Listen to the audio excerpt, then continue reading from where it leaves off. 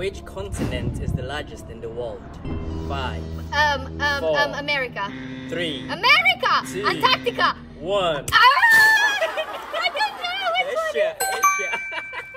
what is the longest river in the world? Nile.